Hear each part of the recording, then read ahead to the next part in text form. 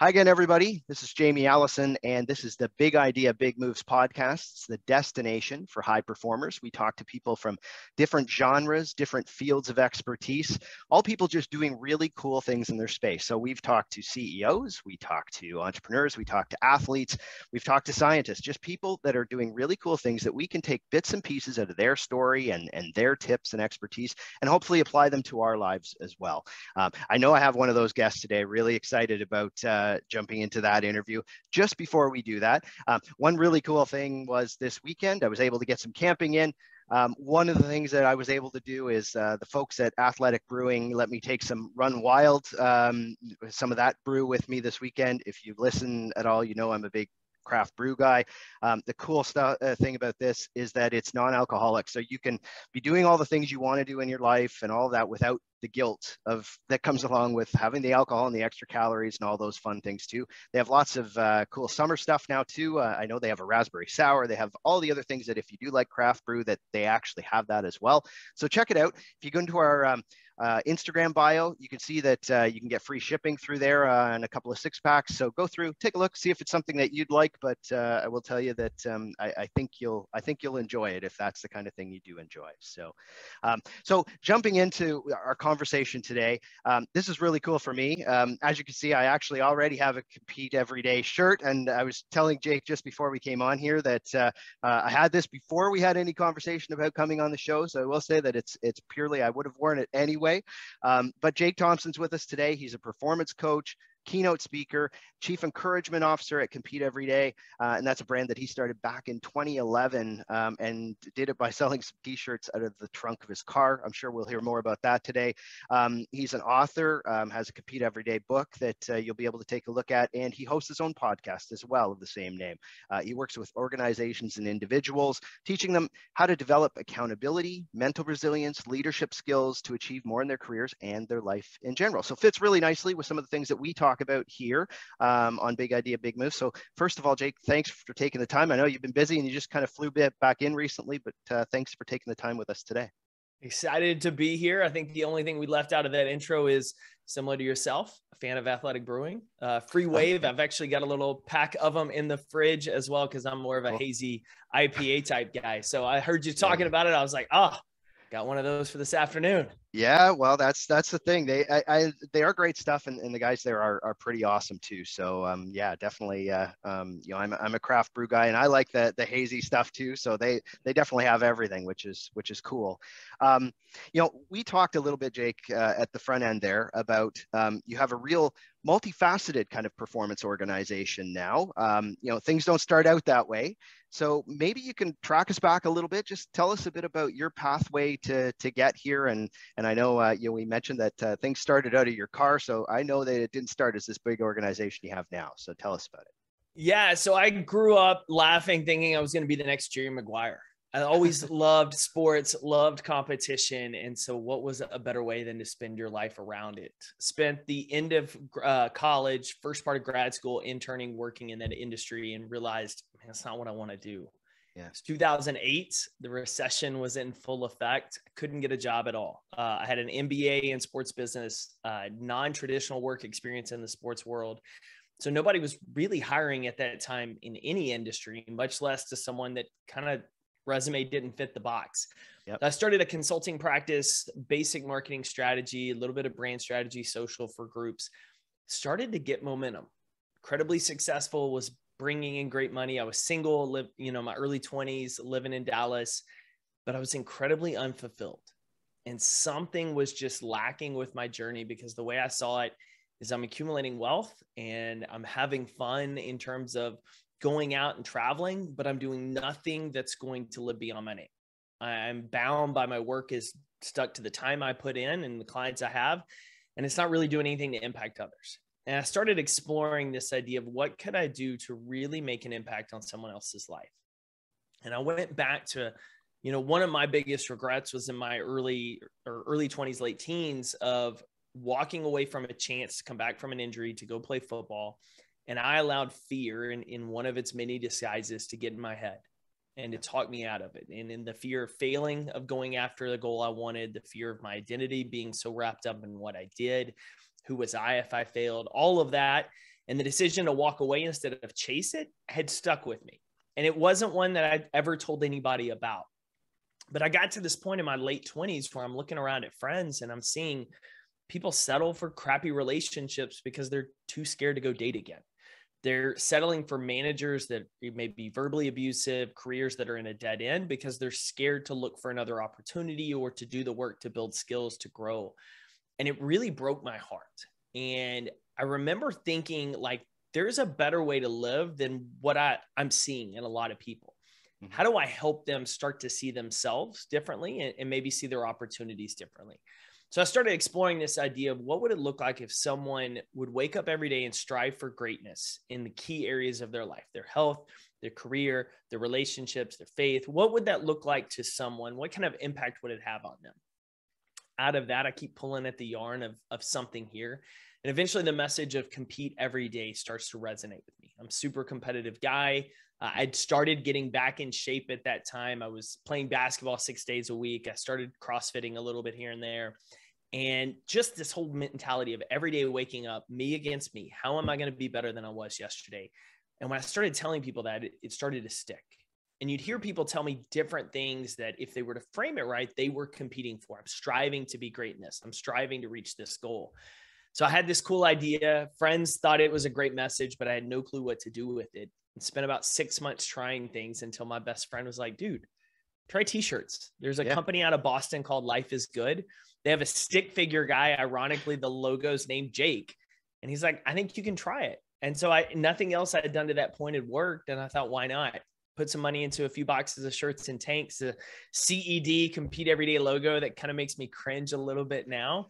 but started selling them out of the trunk of my car behind a CrossFit gym in North Dallas just as a side hustle. Yeah. And as I started to see people resonate with the message, the brand really just started to grow for us. Wow. And now, I mean, you see that there's a, a really strong connection with those different communities. And, um, you know, it's, it's interesting when you say the compete everyday piece and how that started resonating with people. And I, I, I know that you also kind of talk a little bit about, um, you know, if, if you approach something as competing, that, that also means that sometimes you're not going to, you're going to fail um, and, and, maybe just talk about that a little bit because I, I yeah. did like that message around you know it, it doesn't mean that you're going to win every day i guess might be something that yeah. is important to know and, and i think that's really important because the safe route that most people take is i'm going to 100% make sure guarantee that i'm going to get what i want or i'm not going to do it and when we do that we fail to really reach our full potential because we're setting our ceiling so low we're not going after goals that stretch us. We're not doing things that help us develop as individuals because there's a chance with anything great, anything beyond your comfort zone, you fall short. That's what makes sports so exciting to watch as a fan is you could win, you might not. And there's there's something on the line. Emotionally, you feel connected with your team that there's a chance you could win, there's a chance you could lose. Mm-hmm. Competition at its at its core is establishing your baseline, identifying opportunities where you want to improve, working at them, evaluating how you did, and then repeating the process. So, from a very physical sense, if you your goal is to lift 250 pounds and you can lift 200 now, well, 200 is your baseline. Your opportunity 250. Well, what are you going to do to get there? Well, I'm going to follow an eight to 12 week training program. My coach put it together. So I'm going to work at that eight to 12 weeks. In 12 weeks, I'm going to test. I'm going to evaluate. How did I do? Well, now you moved up maybe 215, 220. Oh, you failed at 225. Some people would say, well, you're just a failure. You didn't hit your goal at 250.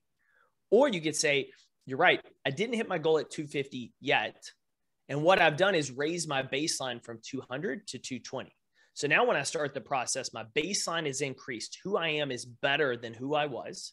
I evaluate my opportunities for 250. I work the program again and then I evaluate again. And maybe I get a little bit closer this time.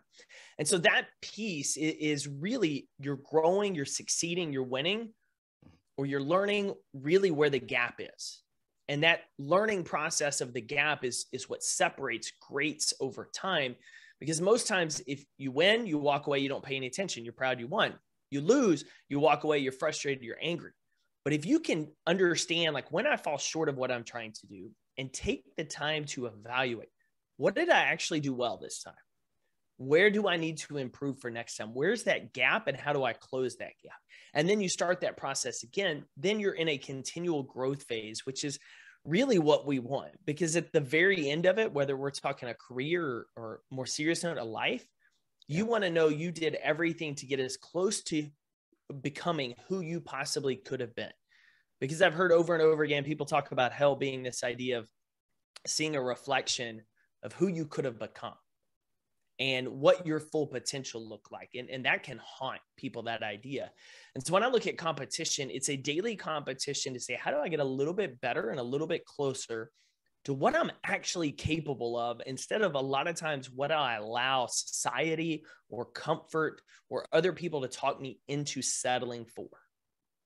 And jake you mentioned that that um, you know being able to get incrementally better is important um, to do across the different parts of your life. So, you know, the one thing that uh, some people also find a challenge, um, you know, in talking to, um, you know, I deal a lot with entrepreneurs and uh, and uh, you know people in business and things like that. You see so often that they may have that kind of mentality around one piece of the, their life, um, but it's often at the detriment of the other pieces of their life, and that can be athletes, it can be you know people working in business, it can be a whole bunch of different things.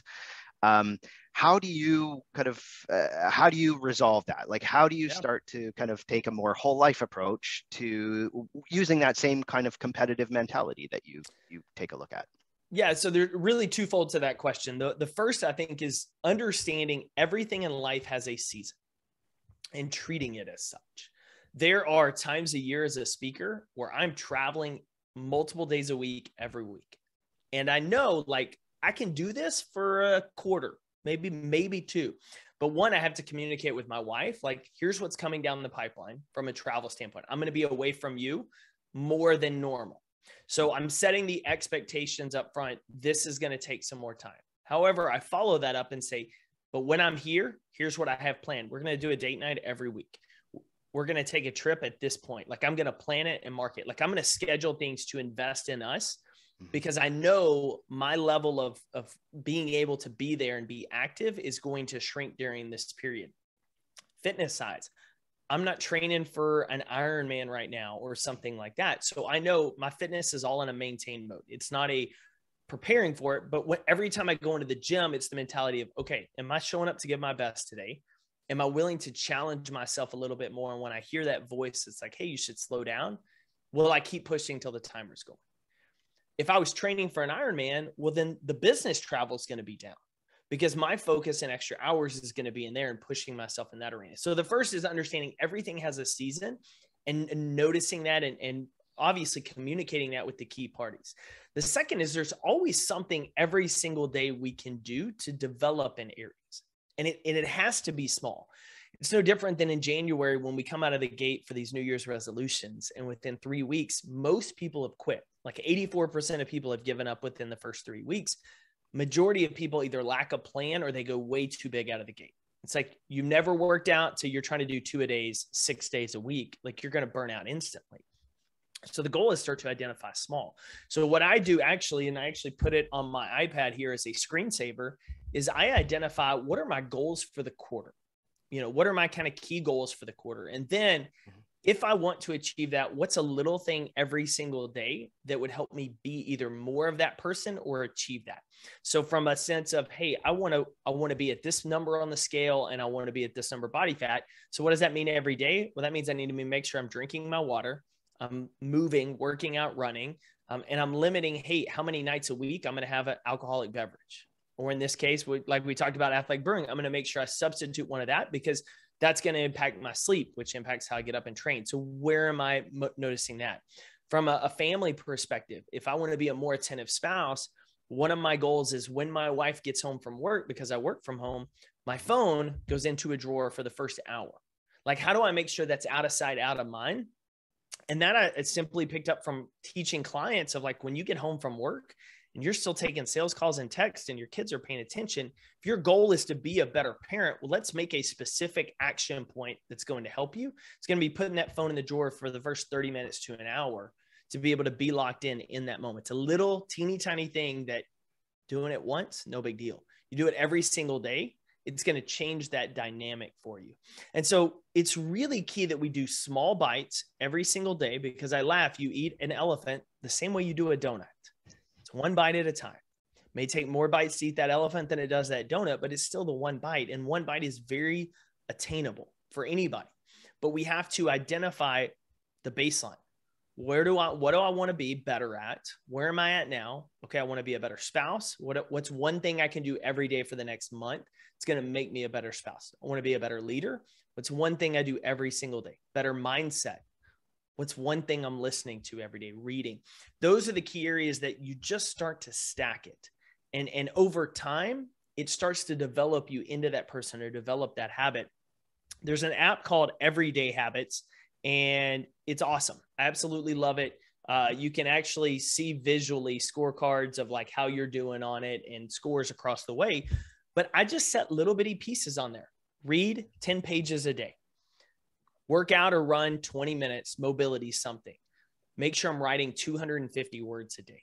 Make one sales outbound call. Like each of those things by themselves, super easy to do once, very hard to do consistently over time. But if you do those little things consistently, competing against yourself, then you're always in that process of growing because the natural inclination is take your foot off the gas. You did it yesterday. You don't have to do it today. Like success makes us complacent. And so it's that constant chipping away that really helps us develop. And so uh, let's say we're at the point where we're starting to be able to do that. We've got a pretty good yeah. goal setting plan ourselves. Um, a lot of people who listen are uh, are leaders or are in whether it's formal or informal leadership in in organizations and things like that. How do you how do you help translate some of that to your teams, or how does how do you find that that kind of rolls into how your team performs by how you might be able to kind of change your habits or how you help them with theirs? Yeah, two there's two pieces to this as well that I love. So yeah. from a, a commitment change standpoint, commitments require two key things. They require a calendar and accountability. If it's not on our calendar, it's not really our commitment. So if we're committed as a leader to spending more time with our team and getting to know them, where's that on our calendar? One of my clients does a they do a 50 cups of coffee program where their leaders literally every week should be having a 30 minute cup of coffee with someone on the team and getting to know them on a personal level, nothing work related, so they can build that relationship. And then they track notes, learning about that person so that they better understand that dynamic. So that that is a pure example where it's on your calendar, you're committed to it, and then you have the accountability that one the other party is expecting you and the leadership team is holding you to that standard as part of your role. So creating accountability and marking it in the calendar is key. That's kind of the first big piece. The second is what are we saying from a verbal standpoint? Because the rewarded behavior is the repeated behavior. So, for instance, if we're in sales and all we do is praise the sales team when the sale closes, mm-hmm. then the sales team only focuses on the outcome versus the daily habits that they need to be doing consistently to be successful. So, what are we doing when we're meeting with our sales team to talk about, hey, what were your outbound calls like today? How consistent with were you with booking and managing new prospects? What were you doing that is 100% in your control that we know helps influence the outcomes we desire? The more we praise those behaviors publicly in front of everybody to the individual, the more we consistently do that, the more they understand the value of things within our control of managing your time, using your calendar, making the calls. And so, as a leader, what you say sets that direction it's no different than a parent in uh, youth sports. Sports psychologists have talked about this in terms of when parents praise the kid for goals scored, hits, wins, kids start to associate mom and dad's love with that. But when a parent praises them for how hard you play, hey, I saw you got pulled, but you still stood up and cheered for your teammates, or you were coachable on the sidelines and you maintained that that positive attitude, even when the team was down, you were trying to rally. Like those things praise, the kid understands that's important. And those are the skills that develop them for life. And so you, you psychologists see this in terms of sports, no different in the workplace. What we praise, what we give the most attention to is what everybody sees as most important. And so we have the awards at the end of the year for the outcome, and we want to celebrate that, but understanding that's the result of the process. And so, what are we doing to put an emphasis and focus on the process? utilizing their calendars, utilizing the accountability to tie it all in together. Now, a lot of whether it's organizations or anything else have been going through. I mean, it's it's been a tough few years for basically everybody. Um, and and one of the things that that comes up often is is resilience and and whether that's mental resilience or even just kind of a, a little bit of, of, physical along with that as well um, uh, two parts to the question first one is do you see is is resilience something that can be learned or is it pretty innate um, and then the other side would be, you know, if, one of the two of them is, is, there, uh, you know, are there things that you can do to help kind of flex that muscle a little bit and, and do it when you don't have to so that you can react when you need to? Um, I'll throw that out there. Big question. Yeah, I know. I 100% believe it is a built skill, not a born skill. Now, there are individuals because of things that they went through earlier in life mm-hmm. seem to build it or have it at a different level, which a lot of people would think, oh, you're just so resilient. But what they fail to see is when they were three, four, five, six, seven, they were in a tougher situation. Their family was always moving. They were always having to adjust to change and challenges. So there are circumstances that prime that muscle. However, every one of us can build resilience. And in fact, the one thing I've been saying over the last couple of years is as we're coming out of this and even now we're headed into this recession period like yeah. there's challenge after challenge yeah there's a lot of people that have the mentality of, oh man, COVID and the pandemic was terrible. And one day, man, this recession was terrible. Hope that doesn't happen again in my lifetime. Whew, I got knocked on my butt, but I hope I'm okay. You're going to have a very different group of people who say, I was not prepared when COVID hit. I didn't handle it well. This recession totally knocked me off course. What do I need to do now to one, better prepare myself for the future? And two, better prepare my mindset to respond because that's really resilience is our ability to bounce back. It's our ability to respond when things don't go according to plan. And that's one of the most important things for me because success in life is not about perfect conditions, perfect opportunities, perfect situations. It's how quickly and effectively we can respond to imperfect situations. Sports, perfect example. Guys miss shots, they strike out, they miss passes, tackles every game. There is misses. But do you allow the one miss to cause you to miss the next two, three, four, five?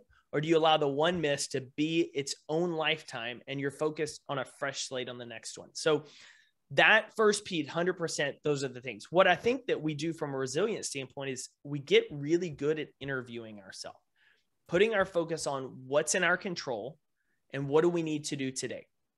The one example I always go back to is when COVID hit as a speaker, my book of business disappeared for the year.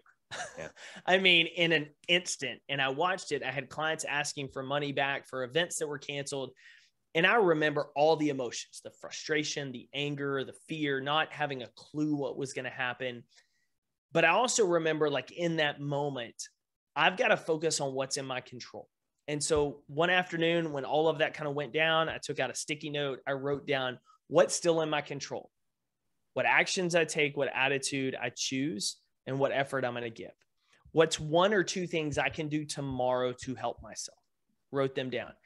That afternoon, went downstairs, ended up having a, a, drink. My wife had gotten home from work. We sat down, we just talked. We watched a movie that night. I just tried to unplug. Next morning, woke up.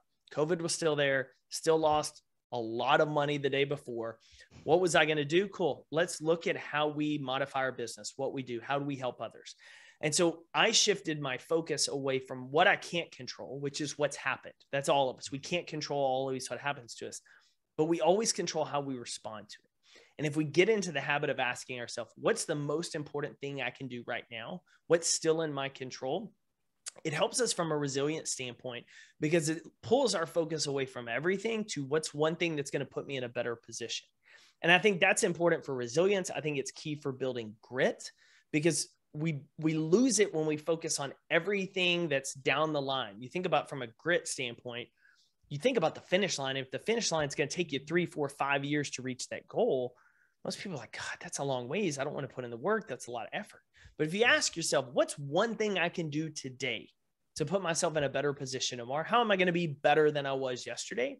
And you do that every single day. Will you get to that point in five years or sooner because you're consistently showing up taking action on what's in your control instead of being distracted so easily by what's outside of it. And so it all comes down to asking yourself questions What's in my control? What can I still do? What action step would put me in a better place tomorrow? I can't change what happened, but what's one thing I can do to respond better to it? You start to get better in that process and you become more resilient throughout that process. Uh, now, Jake, you've you've put together a bunch of different streams of what you do, all of those things. And um, do you have, uh, how, how have you done that? Like, are there, are there, do you have specific mentors? Do you kind of, uh, how, uh, do you look to role models? Do you have people that you know, support you that way? Um, you know, how, how do you personally kind of uh, take knowledge from other people? Yeah. Uh, any and all of the above. I, I think one of the the the things that I've learned to develop over the years is read, absorb information, and be able to turn around and teach it. And I think part of that is I grew up in a family of teachers, which was incredibly helpful. That never realized it would pay off the way it has now. Um, yeah. But yeah, I you know when I started compete every day, I was trying to find mentors and coaches and nobody was like hey this is how you do this because nobody wanted another competitor in the business at least the people i interacted with. Yeah. and so i was just figuring it out like a, a, blind mouse in a maze and i was making bad decisions. I was wasting money. I was chasing different because i didn't know what i didn't know and i was just trying stuff. Guy named chris brogan came along a couple years into it. Online guy if, if you've been in social for years chris is an, an og and he just tweeted out one day, Hey, who can I help today? And I responded. And Chris took 30 minutes and taught me all about affiliate marketing. And then he and I have become buddies. I found when I when I started looking at hmm, maybe I want to go speak and, and I had some clients reach out. I hired a coach, spent more money on that coach than I'd spent on almost anything in my life. I was terrified, but I wanted to make the investment because I saw the opportunity for growth. When I finished with that coach, I hired another coach to teach me the business side. I picked up a mentor. Hey, you've been in this business for years. Here's what I know about you. Here's what you do well. What can I learn from you? Give me, I'm going to ask you specifics. That mentor over the last four to five years has been incredibly instrumental. And, and then I hired her as my business coach because I said, Hey, here's where I've gotten. I know I want to get to this next point. I know you've done that. So let me formally hire you so that I'm investing in you as much as you're investing in me. So I do that. I read every day. Uh, even if it's 10 minutes, I'm going to read. And, and, I love, I love reading fiction as much as anything else. Uh, but I'm going to read 10 to 15 minutes of a business book, whether there's one on my desk uh, around the corner that's uh, email marketing right now that I'm reading. Mm-hmm. And I got on a plane last night. I was like, I'm going to read 10 minutes of this book and then I'm going to mm-hmm. switch to my fiction book that I'm like really all into right now. But I'm going to make sure I get the business and take notes. Doing that, I'm listening to podcasts and audiobooks. I'm always trying to absorb as well as anytime I'm in a room or a situation with people, I always try to maintain it top of mind. How can I learn from these folks? I don't ever want to be in, and I know we talked off air a little bit about the book and stuff. I don't ever want to be the person where I'm the smartest person in the room because that means one, I'm in the wrong room because I'm not learning as much as I could be in this room. I need to be in places where I'm going to be challenged. And then, secondly, everybody has something to teach you, either something to learn from or something to avoid, uh, an example to avoid. So, what am I picking up on? And so, anytime I've had a chance to have an interview with somebody or sit in a room with the CEO and talk about their company, I'm always trying to pull questions from them of just, little insights to things I'm like, ooh, that would be interesting. And maybe later I'll revisit that. So I look at every day, honestly, as a learning experiment of what can I learn? And then most importantly, what can I use to teach somebody else? And so it may be, um, interview I, I hear after a basketball game and I'm like, I love that line. Let me grab it. Let me show somebody else how this applies to business. Maybe it's just a conversation at coffee and I'm like, here's what I'm seeing. Like tell me if this is right. What are you seeing here? Okay cool. How can i teach that to somebody else? It's always around that but i think that goes into part of one me just growing up around teachers and kind of having that what i do now but two learning from really good people the importance of it not being about us. It always being about how are we helping others develop and grow and when you do that, you're always looking for opportunities to help others and grow. And it's no different than when you want a yellow VW bug as a car and you haven't seen one on the road ever, you think. And then you go to the dealership, you buy one, you drive off the lot, and all of a sudden you see 10 driving home. Those 10 didn't just appear out of nowhere. Your brain's focused on them now because this is your car, it's recognizing it. Same goes when you start to shift that mindset as a leader, especially of how do I get more people to like me, follow me, buy from me? No, how can I help more people get what they want? And where can I find opportunities to enhance their life, their work, their careers? I'm totally going to steal your analogy with the bug, by the way. Yeah. Uh, so this that's uh, uh, yeah I, I, haven't heard that before but it's a it's a great way to think about it because i think everybody does make that connection pretty quickly. Um, one of the things we always do jake is is with our guests try to have you know two or three kind of uh, you know very specific things our, our audience can do. There's been a whole bunch of them here in our conversation already even just about kind of uh, reading and all of those things. But um, if you were to say if, if people wanted to kind of take that whole um, compete everyday approach. Are there a couple of things really quickly that just today after they listen here what kind of things they might um, want to do to get the ball rolling on on being able to take that uh, attitudes towards the day or the week? Yeah so i'll give you i'll give you two because i know we got a, a, bunch of leaders. I'll give you a personal and a professional. So on the personal side get an old school calendar put it on your refrigerator put it on your bathroom mirror.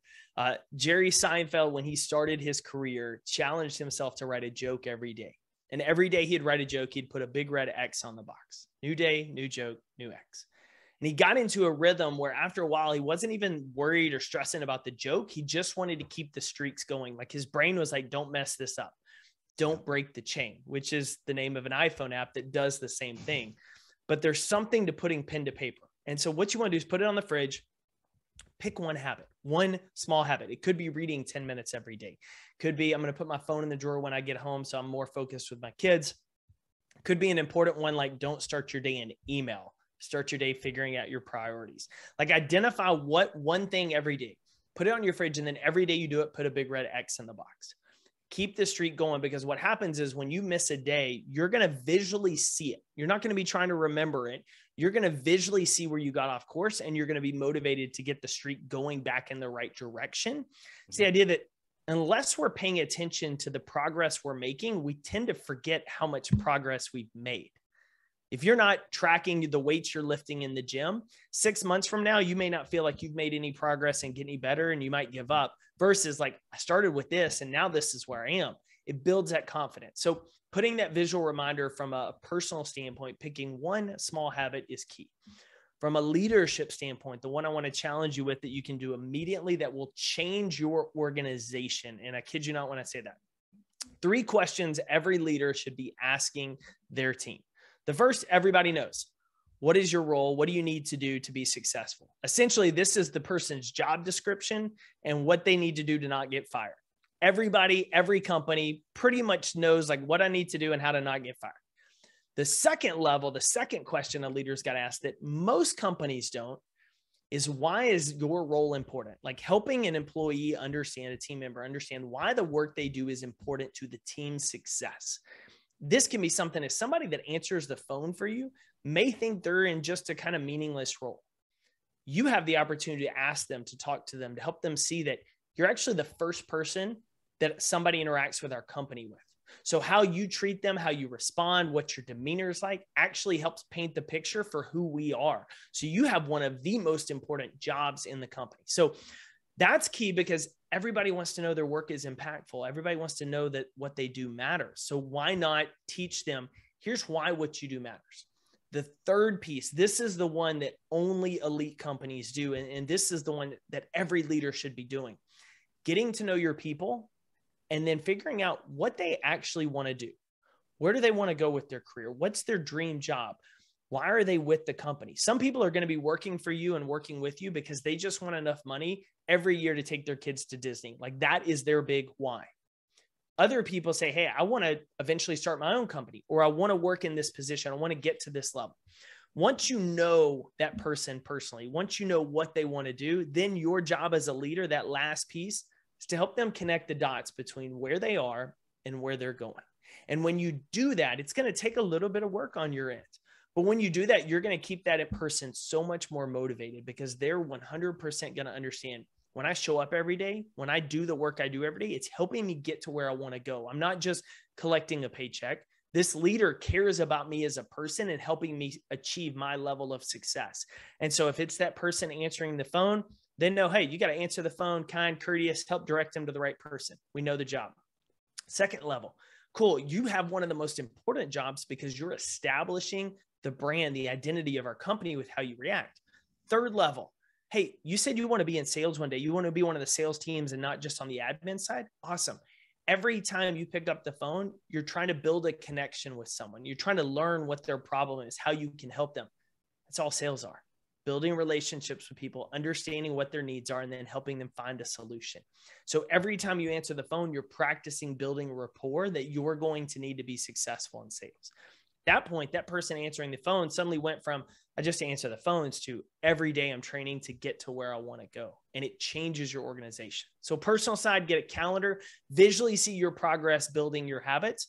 Professional side, get into those three layers with your team, and it will dramatically change not only how motivated and consistent your team shows up, but what your culture can look like. Whether you're doing this with the entire company or whether you have a small division or team within a large organization, it will change how your team members interact with each other and obviously how they start to show up and work and probably even their perception of you as a leader as well because it, you you are an empathetic leader who understands and and that makes a huge difference in the engagement of your team as well. So um, so uh, for those people listening if you if you didn't write those down uh, either roll this back when we're done and kind of listen to them again. We'll put them in the show notes but um, those are all gold so make sure that uh, you get those. Um, uh, jake if uh, i mean obviously this is a, just a snippet of some of the stuff that um, that you provide.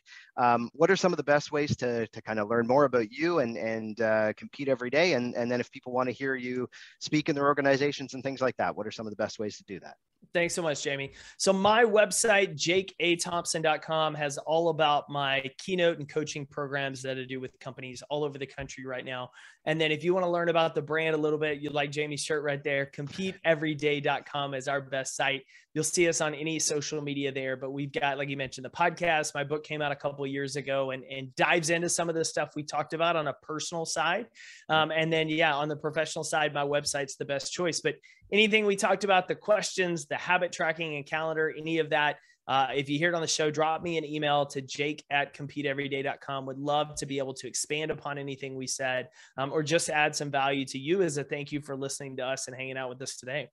Cool. All right. And if you haven't hit subscribe on the podcast, do it right now because we have great guests just like Jake every week. Um, and uh, again, I know you're a busy guy, Jake. So thanks very much for taking the time. It's been awesome. Lots of really great stuff for our audience. So uh, again, thank you for for taking the time with us today. Appreciate the opportunity. All right. And we will talk to everybody else again on Big Idea, Big Moves.